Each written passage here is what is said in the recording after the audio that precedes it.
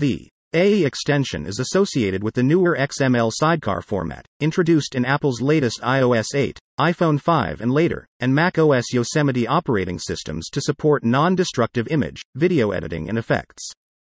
The .aae file is a text-based Apple XML property list, PLIST, document that describes all editing operations performed on an image, video, or effects, filters applied to it. The name of each sidecar file matches the name of the respective original image, .jpg, or video, .mov. The original photos or videos remain untouched. If no editing was done and no filters effects applied, no .aae files are created.